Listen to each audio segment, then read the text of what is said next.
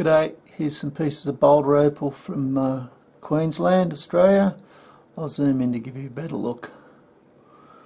Okay, I've zoomed in. These aren't high quality pieces, as you can see. They're um, pieces that you could get the feel for cutting the opal. Like this piece here, the top needs to get ground off might get some better colour at the end there. And then there's a seam running through it and that's really what you've got to learn to look for is the seams. These first couple of pieces are basically practice material. This has got nice colour on the end there. Cut it through there. And, not, and cut that off.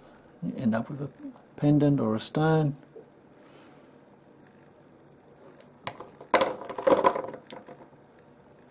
This has a little bit of pur purpley mauve colour in it.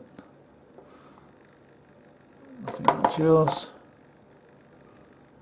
Again, maybe cut it in half, have a couple of pair pendants or earrings, maybe a bit big for earrings. Here's a layer of opal through the middle there. So maybe cut through there, get a stone, and then chase this for another stone there. It's up to you. Piece with a bit more colour and pattern middle there. Again, there's a little seam. Might go through to here, don't know. You don't know until you play with it.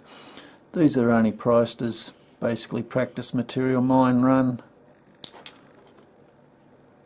Piece like that. Nothing at all really. But you might as well have it as, as me. It might be something to play with. Hope you've enjoyed. Cheers.